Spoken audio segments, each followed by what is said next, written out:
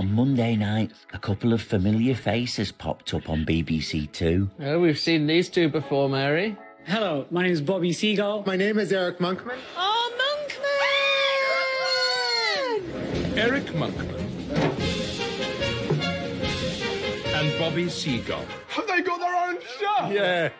Catapulted to fame by their iconic appearances on University Challenge. Also Monkman. The demilitarized zone? I remember watching, we were obsessed by Monkman, weren't we? These learned friends are now off on a journey of discovery. I think they're absolutely lovely, they do. I like, I like geeky, geeky people. Do you? Really? Yes. Monkman and Seagull's Genius Guide to Britain. That's a very good idea. I have no doubt that this is going to be brilliant. In the programme, the boys went to